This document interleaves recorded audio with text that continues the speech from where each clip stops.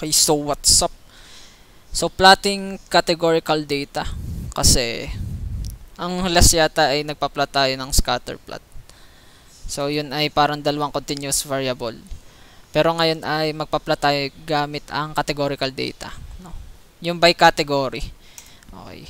So ang gagamitin nating function dito is strip plot tsaka swarm plot.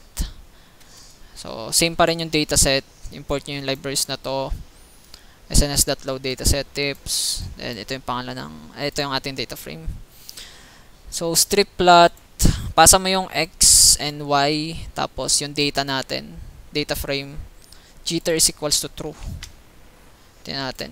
Hindi, tingnan natin ang itsura niya. So ganito siya pag nagpa-plot ng categorical data. So para siyang distribution, parang displot siya pero parang form siya ng parang ano, eh, parang scatter plot na bar plot. Pero pinapakita din yung distribution ng data. Ano?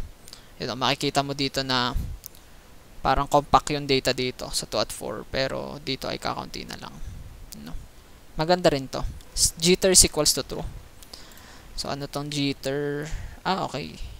Nakatrue na pala siya. Paano pag false? Ah, okay. So parang ang pangit lalo. So pag nakatrue siya parang medyo spread siya. Ano?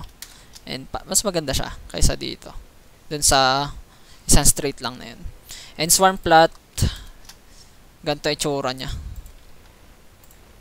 Hindi ano, walang ano, walang parang hindi nagkakapatong-patong pag swarm plot. Ano? So makikita mo nga naman dito na 2 yung may pinakamarami, no? Pinakamaraming data na mail ay 2 lang yung tip. Parang nasa 2 lang. Tapos nandito, mga 3. Yan. So yun, plotting categorical data.